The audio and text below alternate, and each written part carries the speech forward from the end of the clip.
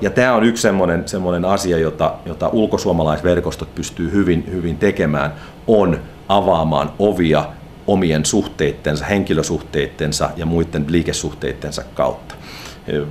Maailmalla on erittäin tärkeää se, että, että joku avaa sulle tietyn oven, on tämä, keittiön oven kautta meno versus, että soitetaan ovikelloa siellä, siellä etuovella. Sitä saattaa joutua soittamaan hyvinkin pitkään ennen kuin päästään niin kuin jonkunlaiseen konkreettiseen liike, liike, liikekeskusteluun, bisneskeskusteluun.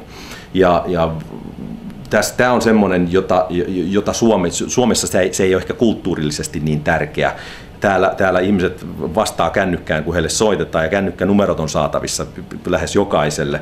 Mutta ulkomailla se ei ole suinkaan näin, vaan, vaan se ei ole, että mitä sinä tiedät, vaan kenet sinä tunnet ja minkälainen verkosto sulla on käytettävissä. Ja tämä on, on yksi semmoinen, johonka, johonka nämä, ulkosuomalaiset ja muut me, me ulkomailla asuvat ehkä voidaan antaa, antaa isokin panos.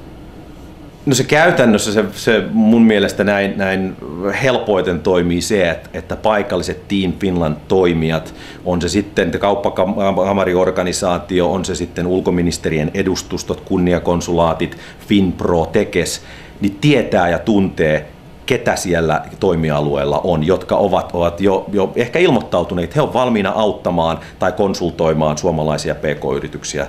Koska nyt esimerkiksi omalta kohdalta niin meillä on, on um, Finnish American Chamber of Commerce of the Northwest, joka, joka toimii Seatlessa, niin meillä on, on hyvin erilainen, hyvin erilaisia taustoja. Me, meillä on, on jäseniä, jotka ovat suomalaisia, mutta tehneet siellä, luoneet oman uransa viimeisen 20-30 vuoden aikana eri aloilla. On teknologiaa, on lääketiedettä, on, on, on, on äh, talousalalla toimivia, on, on ähm, henkilöstöhallinnan ammattilaisia.